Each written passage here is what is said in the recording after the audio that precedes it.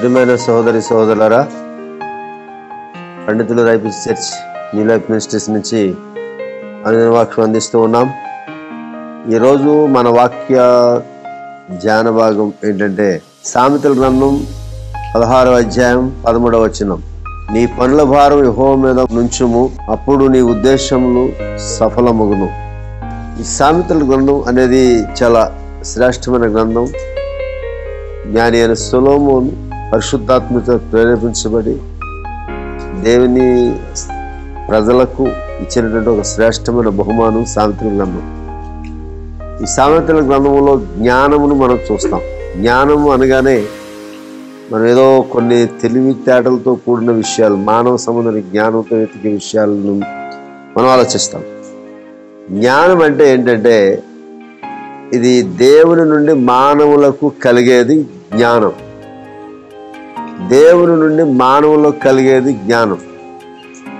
దేవుని నుండి మానవులకు కలిగేది జ్ఞానం కనుక జ్ఞానం కలిగిన వాడు ఎవడైనా ఉంటే దేవుని శక్తిని ఎరిగిన వాడు ఎవడైనా ఉంటే దేవుని యొక్క గొప్పతనాన్ని ఎరిగిన వాడు ఎవరైనా ఉంటే వారు తప్పనిసరిగా వారికున్న ప్రతి ఆలోచనను ప్రతి భారమును లేక ప్రతి బాధ్యతను ప్రతి పనిని దేవుని మీద ఉంచుతారు.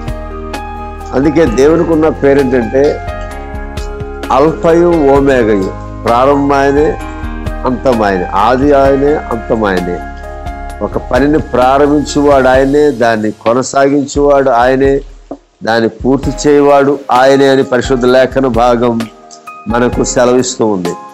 కాబట్టి నీ పనుల భారం హోం మీద మోపు. దేవుని విషయాలు ఎదిగినవాడు అసలు పని అనేది ఒక బాధ్యత అనేది ఒక కార్యం అనేది ఎక్కడ ప్రారంభమవుతుంది ఎవరి నుంచి ప్రారంభమవుతుంది ఎలాగూ ప్రారంభమవుతుందని మనుషులు ఆలోచించినప్పుడు వారు ఈ ఆ గ్రహింపు దేవుడు ఇచ్చినప్పుడు వారు దేవుని మీద దేవుని మాటల మీద ఉండే గొప్ప విశ్వాసాన్ని వారు ఆలోచించినప్పుడు తప్పనిసరిగా దేవుని మీద భారాన్ని వారు ఉంచుతారు. ఇది ఒక మనుష్యుని వల్ల ప్రారంభించబడి జరిగేది కాదు అని వారికి గ్రహించే జ్ఞానాన్ని దేవుడు వారికి ఇచ్చినప్పుడు వారు దేవుని మీద భారాన్ని ఉంచుతారు. ఎప్పుడైతే దేవుని మీద భారాన్ని మనం ఉంచామో అప్పుడు నీ ఉద్దేశములు సఫలమగునని దేవుని వాక్యం సెలవిస్తుంది. కాబట్టి దేవుని మీద భారాన్ని మనం ఉంచినప్పుడు మన ఉద్దేశములు సఫలమవుతాయి. మన ఉద్దేశములు అనగానే మనం మానవులుగా ప్రారంభించే విషయాలు దేవుని యొక్క మంచితనాన్ని బట్టి దేవుని యొక్క శ్రేష్టమైన మార్గంలో విశ్వాసం ఉంచి అందులో మనం సాగిపోతున్నప్పుడు ఆ దేవుడు చేసే గొప్ప కార్యాలను బట్టి మనం ఆ విషయాలను బట్టి ప్రారంభిస్తున్న ప్రతి కార్యము సఫలము చేస్తాడు దేవుడు. సఫలము చేసే దేవుడు. ఎందుకంటే దేవుని ప్రేమ మానవులతో ఉంది. మానవుల విశ్వాసం దేవుని ఉన్నప్పుడు దేవునిపై మనుషులు ఆధారపడినప్పుడు ఆయన తన కార్యము జరిగించువాడై ఉన్నాడు. ప్రయాసపడి భారం మోసుకుంటున్న సమస్త జనులారా నా యొద్దకు రండి నేను మీకు విశ్రాంతిని కలుగు చేతును అని యేసు ప్రభు చెప్పాడు. యేసు ప్రభు ప్రయాసపడి భారం మోసుకుంటున్న జనులారంటే మీ భారము మీకు బరువైనది. మానవుడు ఏ చిన్న విషయాన్నైనా పూర్తిగా అతని మీద వేసుకుంటే అది అతన్ని కృంగదీస్తుంది అతన్ని తెగుల్చుకోలేని వ్యక్తిగా తయారు చేస్తుంది. అదే దేవుని మీద అతడు తన భారాన్ని వేసినప్పుడు అది శ్రేష్టమైనదిగా ఉంటుంది. అందుకని సొలమోను మహారాజు రాజు అయిన తర్వాత దేవుడా ఈ ప్రజలను పరిపాలించడానికి కావలసిన జ్ఞానము నాకు దయచేయి అని అడిగాడు. తద్వారా అతడు దేవుని జ్ఞానం చేత ప్రతి విషయాన్ని చాలా సులువుగా చక్కబెట్టాడు. అలాగే చక్కబెట్టాడు కనుక అతని గురించి దూరదేశంలో ఉండి విన్న శామదేశపు రాణి ఆ సొలోమోన్లో ఉన్న గొప్పతనం ఎక్కడుంది? ఇతనింత స్వేచ్ఛగా సులువుగా ప్రతి కార్యాన్ని ఎలా చక్కబెడుతున్నాడు? పరిపాలన ఎలా చేస్తున్నాడు? అని అతన్ని శోధించి అతనిలో ఉన్న గొప్పతనాన్ని వెతికి తీయటానికి శాపదేశపురాణి వచ్చింది. ఆమె గ్రహించింది ఏమని చెప్పిందంటే నువ్వు గొప్పవాడు నువ్వు ఆరాధిస్తున్న దేవుడు గొప్పవాడు. నీ చుట్టూ నీ దేవుని బట్టి నువ్వు పొందిన గొప్పతనం గొప్పది. నీ చుట్టూ ఉన్న ప్రజలు గొప్పవాళ్ళు నీ దగ్గర పనిచేసేవాళ్ళు గొప్పవాళ్ళు అని చెప్పింది. అదే ఆశీర్వాదాన్ని దేవుడు ఈ రోజున నీకు ఇచ్చిన ఆశీర్వదించి ఫలింపు చేయడానికి దేవుడు సిద్ధంగా ఉన్నాడు. ఆయన ప్రతి కార్యం మన కొరకు నెరవేరుస్తూ ఉన్నాడు. తిమోతికి రాసిన రెండవ పత్రిక మొదటి అధ్యాయం పన్నెండవ వచనం.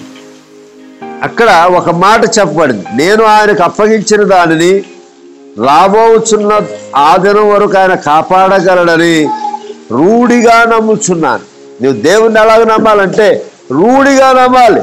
చేస్తే చేస్తాడులే జరిగితే జరుగుతుందిలే ఇలాంటివి చేయడం ద్వారా దేవుణ్ణి సిగ్గుపరుస్తున్నావు. దేవుణ్ణి చిన్నవాడిగా చేస్తున్నావు. కాబట్టి ఆయన కాపాడగలడు. ఎప్పటి వరకు కాపాడగలడు? ఆ- దినం వరకు కాపాడగలడు. అనే గొప్ప రూఢి అయిన నమ్మకాన్ని మనం దేవుడి మీద ఉంచవలసిన వారు విన్నాం ముప్పై ఏడో కీర్తన ఐదవ వచనంలో కూడా మనం చూస్తే అక్కడ కూడా చక్కని మాట మన కొరకు చెప్పబడింది. అక్కడ వ్రాయబడిన సత్యం ఏంటంటే ముప్పై ఏడు ఐదు కీర్తనలు. నీ మార్గం ఒక అప్పగింపుము. నీవు ఆయన నమ్ముకొను ఆయన నీ కార్యం నెరవేర్చును నీ మార్గాన్ని యెహోవాకు అప్పగించాలి.